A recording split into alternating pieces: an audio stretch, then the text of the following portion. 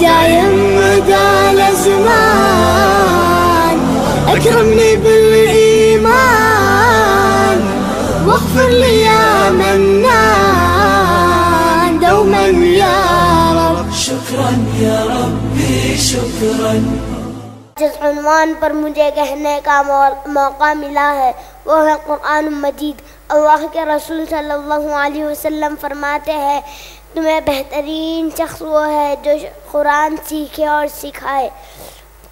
اللہ تعالیٰ فر اللہ تعالیٰ نے قرآن میں حکم دیا ہے۔ اچھے کاموں اچھے کاموں کرنے کا حکم دیا ہے اور برے کاموں سے رکنے کا حکم دیا ہے۔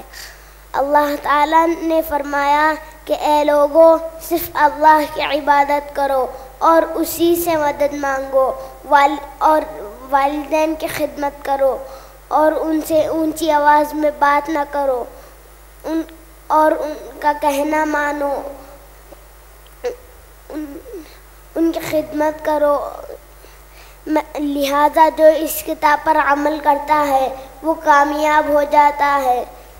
جو نہیں کرتا وہ ناکام ہو جاتا ہے۔ میں اپنی بات کو ختم کرتا ہوں۔ کہ شاعر کہتے ہیں، وہ معزز سے زمانے میں مسلمان ہو کر، وہ معزز سے زمانے میں مسلمان ہو کر، ہم خار ہوئے تاریخ قرآن ہو کر، ہم خار ہوئے تاریخ قرآن ہو کر۔ وما علینا الا البلاغ